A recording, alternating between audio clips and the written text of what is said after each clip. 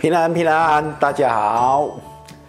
初中的课文啊，《桃花源记》，老师要我们背，背着背着背着，对桃花源真是心向往之。如果能住在这样的世外桃源，该多好啊！当时还傻傻的，真以为有这么一片祥和、宁静、美丽的乐土，只可惜找不到了。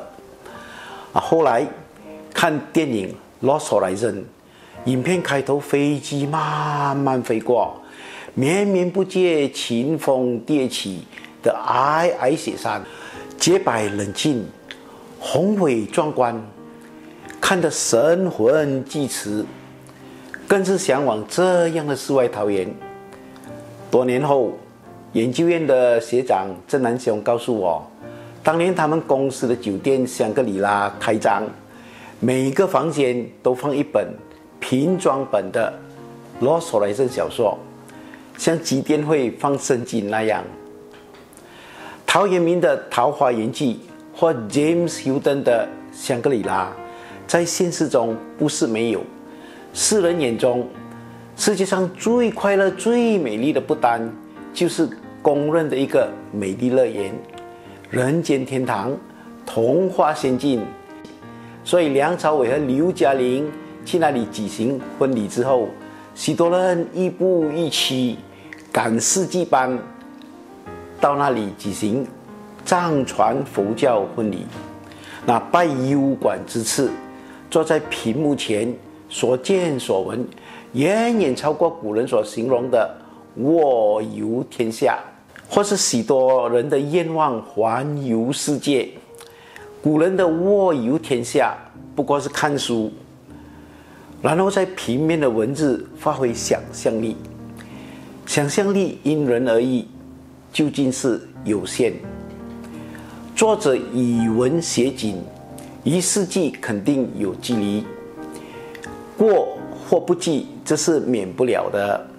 油管上的纪录片，有大机构的财团拍摄，长篇制作。较深度的风景人文介绍，同一地方也有个体户行游探秘的小品，因此同一国家或景点各有起角拍摄。具体而为，皆非什么读书卧游天下所能见闻。至于坐豪华游艇环游世界，那所见更是佛光掠影，点到为止。世外桃源，人间天堂般美丽的乐土，何止三国不丹？加拿大、纽西兰、澳洲，开车旅游啊，小乡小镇常常令人惊艳不已啊！看了真想常住不愿走。可是，当你真的住下来，那又是另外一回事了。二零一八年 BBC 的新闻报道，世界上最幸福、最快乐的国家不丹，忧郁症的人口和自杀的人口持续上升。有没有搞错？没有，忧郁症绝非在竞争激烈、人口拥挤、发达国家大城市市民的专利。北欧国家如瑞士，人口密度不高。风景如诗如画，丰衣足食，富丽优厚，对世上绝大多数人而言，已经是天堂了。忧郁症和自杀率偏高。南半球的纽西兰，处处如仙境。六四天安门事件之后，去纽西兰的中国诗人顾城和美娇妻寄红颜知己。住在遗世独立的仙境中，三人一起自杀。无论住在哪里，在老子认为最理想的境界，虽积千相闻而名老死不相往来的上古记落，甚至真能自供自住、遗世而独立的度假村，还是要面对各种生存生活的挑战和压力。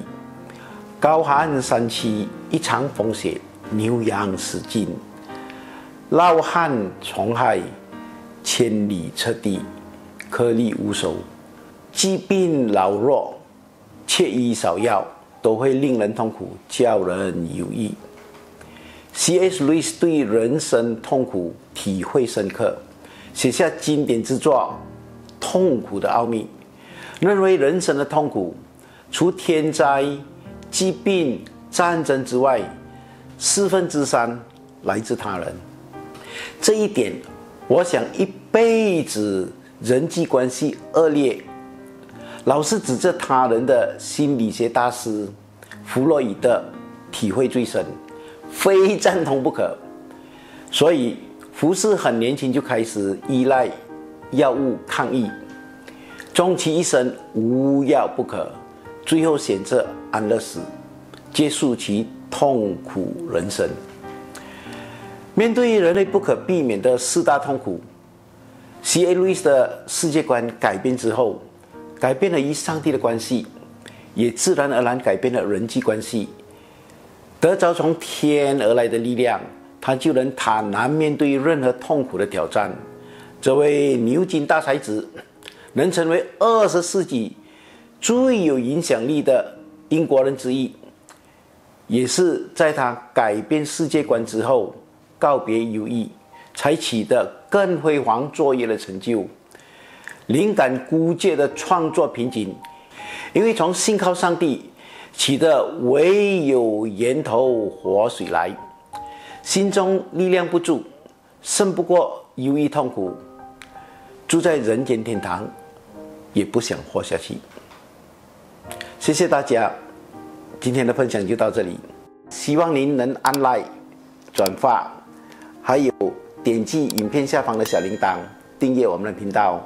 上帝赐福您，祝您平安。